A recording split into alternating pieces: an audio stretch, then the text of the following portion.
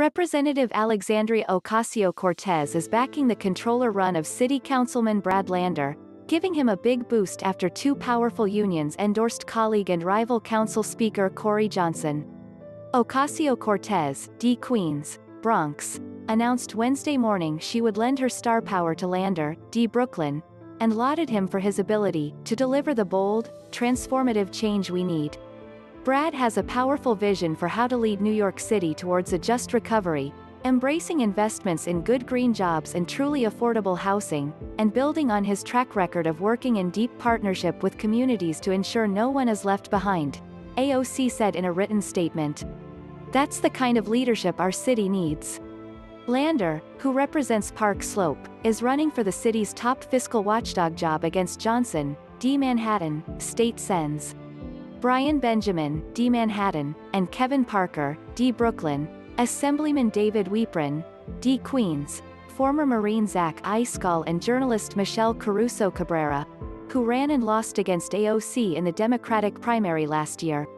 New York City Councilman Brad Lander, D. Brooklyn, Gerri Hernandez, Johnson came in late to the race after mulling a mayoral run, but has quickly racked up key endorsements, including those of Bronx Borough President Ruben Diaz Jr., the New York Hotel Trades Council and DC 37, which represents about 150,000 municipal workers. Benjamin has scored support from Representative Adriano Espaillat, D. Manhattan, Bronx, and former Governor David Paterson, and Weprin has received nods from Reps. Gregory Meeks, D. Queens, Nassau, and Tom Suozzi, D. Queens, Nassau, Suffolk. Along with AOC's stamp of approval, Lander has also received endorsements from Senator Elizabeth Warren, D. Mass. Reps.